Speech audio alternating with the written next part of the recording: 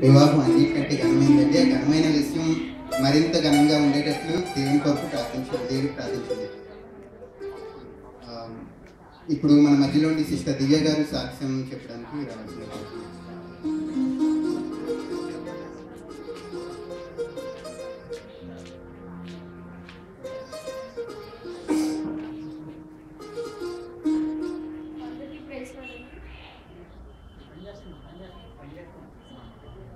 Praise అండి నేను నాలుగు సంవత్సరాల తర్వాత సాక్ష్యం చెప్తున్నాను. నేను ఈ కోర్స్ జాయిన్ అవుతుందని చెప్పాను.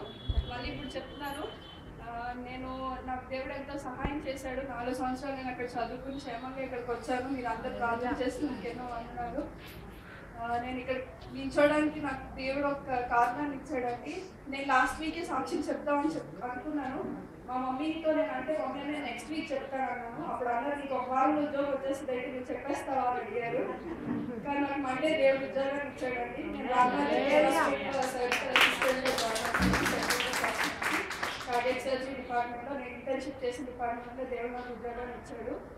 నేను ఇంటర్వ్యూకి వెళ్ళినప్పుడు చాలా భయపడ్డాను. డోర్ దగ్గర నిల్చుని చాలా నేను మా అక్క వెళ్ళాం. నాకు చెమటలు పెట్టి చాలా టెన్షన్ పడ్డాను నేను.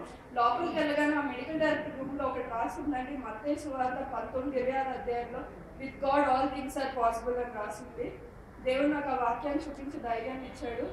సో నా కోసం ప్రార్థన చేయండి. నా కుటుంబం కోసం ప్రార్థన చేయండి. మేము ఇంకా దేవుడిని ఎదగాలని ఈ ప్రార్థనలో మమ్మల్ని గుర్తుంచుకోండి